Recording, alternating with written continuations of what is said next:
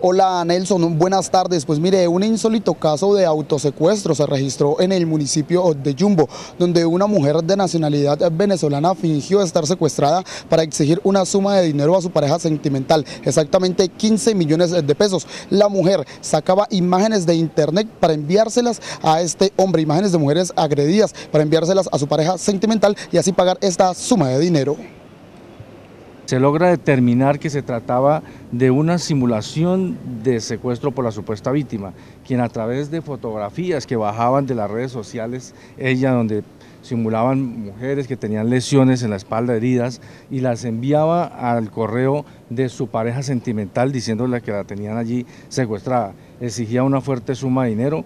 Bueno, esta persona se, les indica, se, se captura por extorsión, ¿sí? e igualmente por otros delitos de concierto de delinquir simulando el secuestro.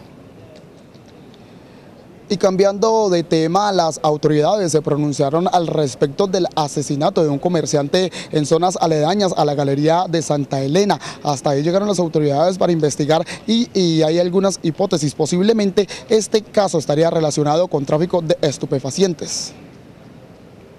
Es una investigación que se tiene como primer hilo conductor desde hace dos años, se presentó un hecho en el cual al parecer estaba correlacionada con temas de tráfico. Las autoridades se encuentran investigando para dar con el paradero de los responsables del asesinato de este comerciante que se dedicaba a comercializar queso en varios puntos del Valle del Caucas. La información que reportamos desde el comando de la Policía Metropolitana de Cali informó Genes Larry Escobar para Supernoticias del Valle.